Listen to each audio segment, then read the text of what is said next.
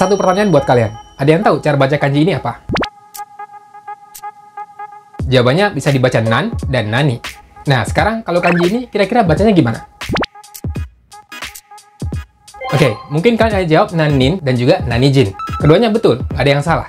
Nah, sekarang bedanya apa? Kalau yang nan biasanya digunakan untuk menanyakan jumlah. Nanin, berapa orang? Contoh lainnya seperti nanshoku, berapa warna? Sedangkan nani digunakan untuk menanyakan jenisnya. Kalau nani jin, artinya orang apa? Atau nani iro, warna apa?